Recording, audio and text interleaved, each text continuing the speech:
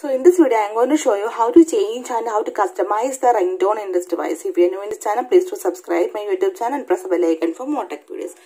To change the ringtone in this device, first tap on the settings option and here you can see the option sound and vibration.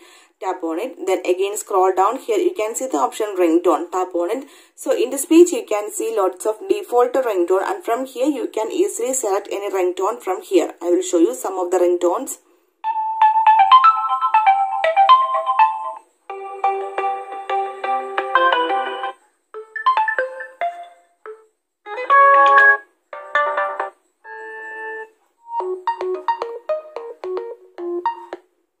Okay? To customize the ring if you want to customize the ringtone then here you can see the option select from files. Tap on it. It will automatically go to the ringtone folder that you downloaded in your device. So from here also you can select any ringtone. So simply here i am going to select the third one okay?